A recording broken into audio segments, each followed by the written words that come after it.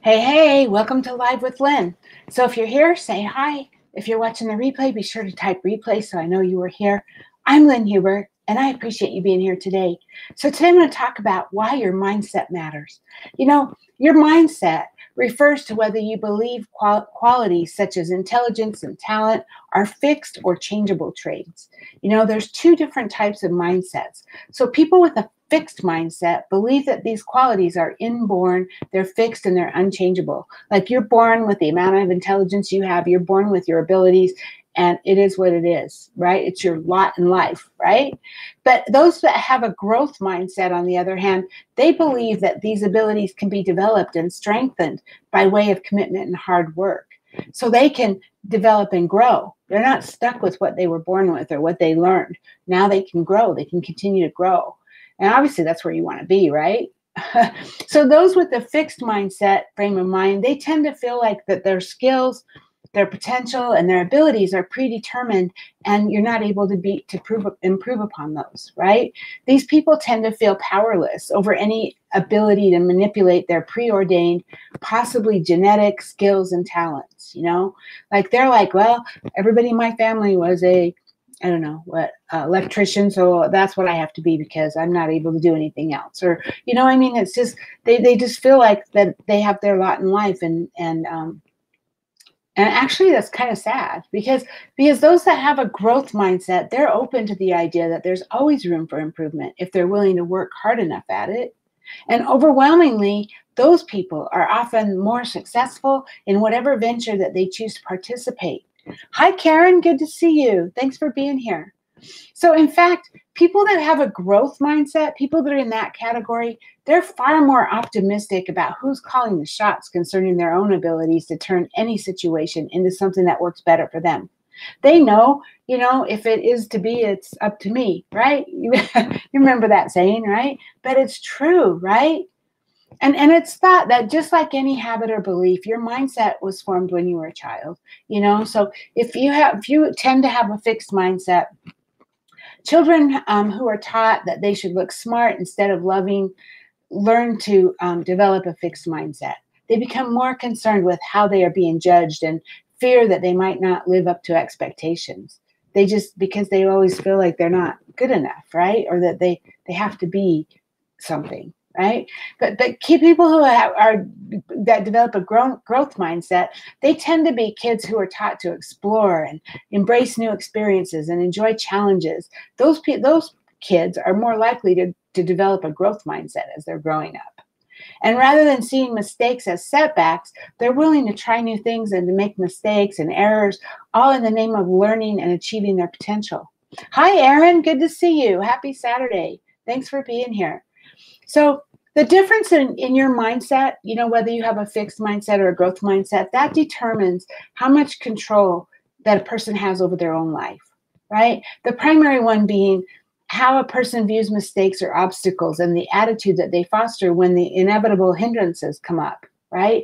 So, for example, those with a fixed mindset are apt to become easily discouraged when things don't go their way, you know, and they're far, far more likely to throw in the towel, so to speak, the, the first time they get a setback because they kind of think, well, I wasn't meant to be for me anyway. I should have known. And then they throw in the towel, right? And they give up. But but those people that have a growth mindset, they're far more optimistic in their outlook and they adopt more of an opportunistic approach to problems, meaning that they make the best of it and they try to turn negativity into a chance to learn and hopefully grow from whatever hindrance that they might encounter. So they encounter a hindrance, and instead of throwing in the towel, they're like, oh, gee, that didn't work. Hmm. Yeah, let me try this, right? So, given what's already understood about the two opposite approaches to mindset, clearly the fixed mindset doesn't leave much room for growth or learning or personal prosperity, while the growth mindset is the healthier, more positive option that's most likely to maximize your success and subsequent overall happiness in your life. Our mindset also affects us in other ways besides our ability to grow and prosper and be successful. So, for one, there's the knowledge that our mindset can have a major impact on our health and our physical well being. That's pretty, that's pretty profound, huh? A person who tends to be consistently be discouraged or depressed is far more likely to have that morose mentality, which suppresses their immune system, which then in turn means that if they have a fixed mindset, people that have that mindset are more likely, they're more prone to illnesses and they tend to take longer to recover from whatever ailment that, that they've had, right? Um, because that defeated attitude kind of suggest i mean it kind of subjected them to, to being sick more often and they don't recover as fast but people with a growth mindset tend to become sick less often and most certainly tend to be happier and healthier so like any habit or belief, your mindset can be changed. It's generally agreed on upon among psychology and other professionals, you know, that any person ultimately does have control over what their mentality is, what mentality they choose to foster. And that's great news, right? That's that's awesome news because that means it's up to you. If you happen to be someone who's been operating with a fixed mindset, you can make the transition to a far more positive growth mindset no matter where you are in your life. You can work on improving your mindset so that you too can have a growth mindset and you can have more control over how you respond to the things that happen in your life so you can turn them around. So look let's look at some things to try to help you to, to do that, to make that change right? So the first one, explore and identify your limiting beliefs. So what are your most limiting views about your learning abilities?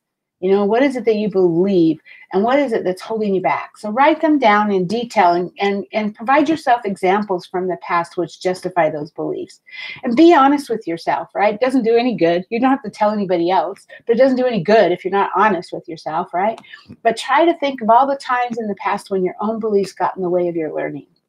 And then cross examine yourself. You know, pretend like you're a lawyer and you're in court and cross examine those limiting beliefs through the lens of a growth mindset, just as a prosecution lawyer would, you know, would analyze a defense testimony in court. So think of examples of the past where your effort led to progress where you did lead to progress. And so then ask yourself if those limiting beliefs stand up to the test now, right? You made the effort and you achieved success. So maybe you weren't really not meant to not be able to do it because you did it, right? My guess is when you cross examine and you think of those examples in your past, you're going to find that that um, that your beliefs won't won't stand the test because the growth mindset encourages for you to take responsibility for the results you get rather than blaming external factors. So you get to take responsibility. You get to say, no, that's not my day to do this. This isn't happening today, right? And then practice the growth mindset. A growth mindset is something you have to practice consistently over time, just like anything else. It's just like a habit or, or a belief or anything, right? And so if your limiting beliefs pop up again in your mind, just rem- remind yourself that no, you're in control today. You have the ability to make that decision. And then when you wake up every morning, ask yourself these three questions. What are opportunities for learning and growth today? What can I what can I, you know, learn and grow today with? And then ask yourself when, where, and how will I embark on my plan? Or when, where, and how will I act on my plan? You know, your mindset matters, seriously. So set your mind. The mindset you cultivate will make all the difference in your experience and in your perceptions because your mindset is the software that helps you deal with the day to day experiences. It filters out everything that comes your way. So your mindset determines what information you pay attention to and which ones you value and which ones are beneficial to ignore. And so if your mindset is not right, a lot of opportunities will come your way you won't even see because because you haven't your your mind hasn't made the attention made made the um, decision to pay attention to that, right? We have so many things coming at us all day long. Our brain actually filters what what's important and what isn't. And um, if it comes across your lens and you don't notice it, how can it help you, right? So it's worth investing the time and the energy to evaluate and cultivate the mindset you want. Seriously, it will change your mind. so hey, now I'd love to hear from you. Did you know about the growth and fixed mindset ideas already? Do you have a growth mindset or a fixed mindset? What kinds of things do you do to work on your mindset? Please share your thoughts in the comments below. I would love to hear your stories. So thanks for being live with me, Karen and Aaron, the rhyming names, Karen and Aaron. Thank you for being here. And anyone else who might be here who just hasn't commented, and anyone who's watching the replay, I appreciate you. So go out there, have an amazing day, and I will see you soon. Bye bye.